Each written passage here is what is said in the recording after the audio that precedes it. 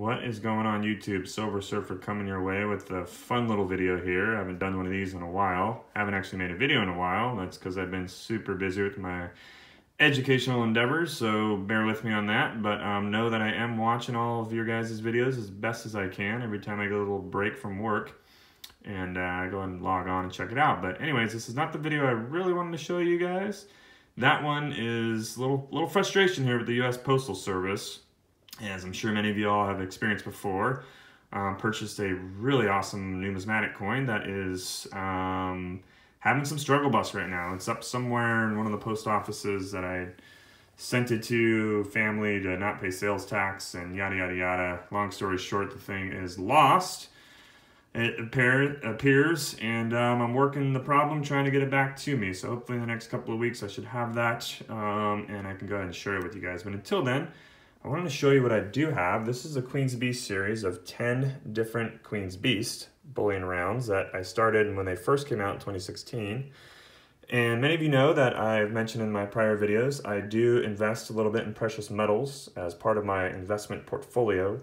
Um, mainly gold, uh, a little bit in silver as well when it was cheaper prices. But um, because of the scream up in prices that we've had recently, um, and in the past, kind of recent, I've sold a lot and used that money and proceeds to invest into numismatic things. Uh, not really invest, but just buy numismatic things like currency. Um, so that's kind of where I've gotten all that. But this is one series that I still do partake in. And I've been following it since the beginning. So this is, we'll just start and show you guys all of them in the final piece. So this is a 2016 Lion of England. Sorry about my lighting here. I'm trying to get it as best as possible, but it's been a challenge. I just moved into uh, my new location and uh, don't have all my stuff set up appropriately. So, not that I was some expert YouTuber to begin with in the past, but I think I had it dialed in a little bit better of natural light and um, light bulbs and stuff like that. But these are cool, man. You know, they don't have all that milk milk spotting like some of the other cheapo rounds, and a lot of these I got them all when they first came out. They're slightly over face value or uh, over spot value um, with very little premium when they when they first uh, started coming out. So I think I scored on them getting them at that price. Yeah, some of these earlier beginning issues, like this one, uh, the Red Dragon of Wales, is uh, a pretty little penny now, and not not because of the higher price in silver. Um, so yeah, these are all two ounces, and they got great detail, guys. Great, great detail here. That's some scratches on the case there, not on the actual round itself, as you can see. But old Queen Elizabeth on all of them on the back. Uh, nothing too surprising there. Go to the next here, the third one. I think, and I hope I got these in order. I, I, might have one or two out of order. They're making two of them about a year, every year or so. Uh, or two or three of them a year, or something like that. But um, what is this one? The Griffin of Edward. This one too is pretty pricey, man. Out of focus, there you go. Flip it on the back. Again, Queen Elizabeth, nothing too fancy. Go to the next one. I kind of like this one here. The old Black Bull of Clarence. Check him out. Look at him up there, those big old horns and snout. He's looking pretty rad. Pretty cool indeed. I'm not going to flip the reverse on all of them because they're pretty much the same darn thing. Maybe a little difference on the um, field designs around Elizabeth's head. Uh, it's got some kind of textile pattern going on there. And we'll go down to the fifth, I believe, issue. What is this? Unicorn of Scotland.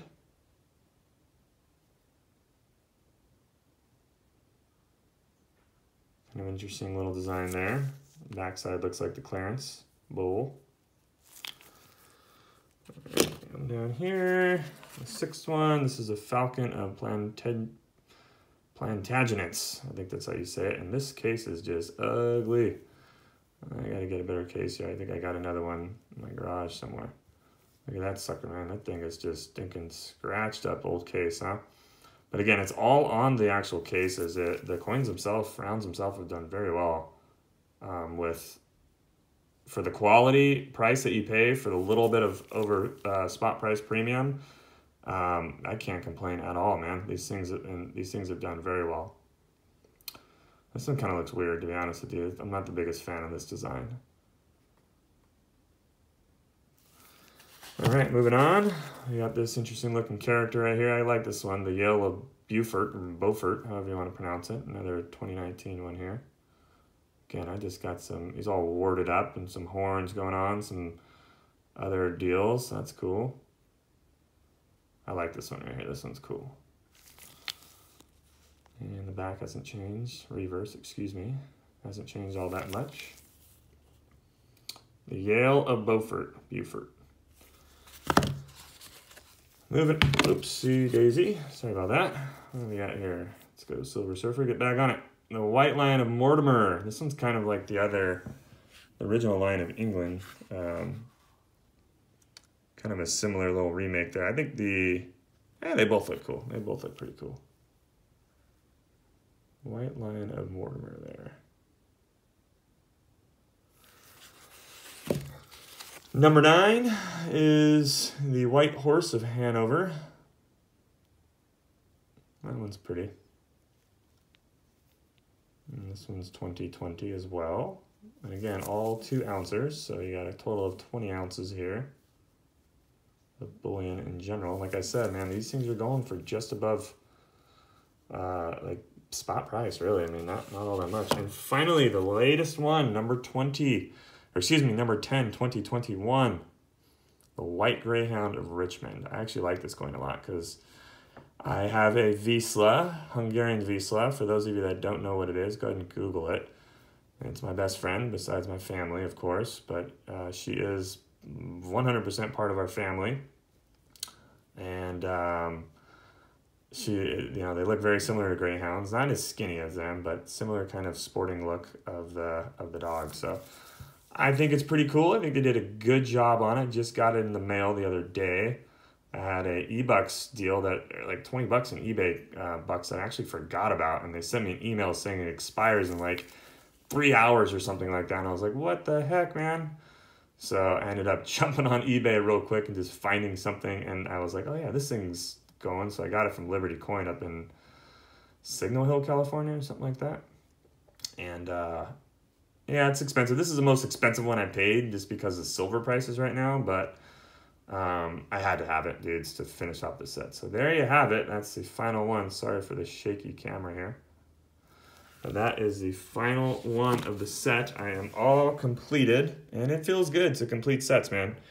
You know, uh, we're working on this thing for uh, four years now, and um, pretty sweet, pretty stoked to be done with it. So happy to share it with you guys. Hopefully you enjoyed it, and I haven't seen too many people posting the complete set yet out there, so maybe I'll get some some of the old school YouTubers that used to watch my stuff until I shipped it in the currency.